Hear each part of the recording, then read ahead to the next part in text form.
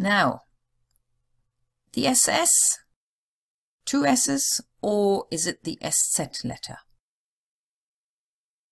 Before the spelling reform, there were lots of words written with the SZ letter. And in the spelling reform in 1995, um, there were some rules made that these words we've got here used to be spelt with the SZ, but because they're all after a short vowel sound, they are now spelt with a double S. So Fass, Schloss, Stress. If you have got any books, whether it's textbooks or novels or anything, that were written before the spelling reform, you would see those words still spelled with the SZ. But with the new rule now, it's Fass, Schloss, Stress.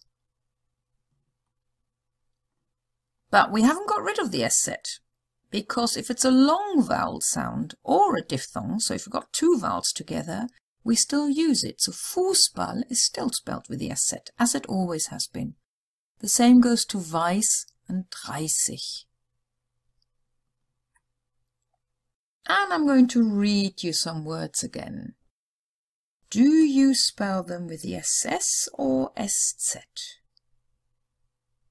Muss. And I read it again, muss. Is that two S's or SZ? Maß.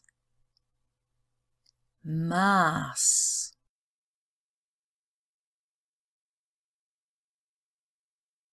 Ich weiß. Ich weiß. Two S's or SZ. And then wir wissen.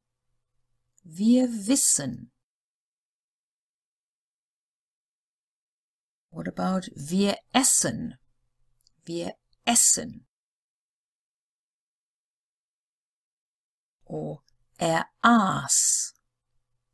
Er ass. What do you think? Did you spell them correctly with two S's or SZ? This is what it looks like. Muss is a short U, so it's two S's.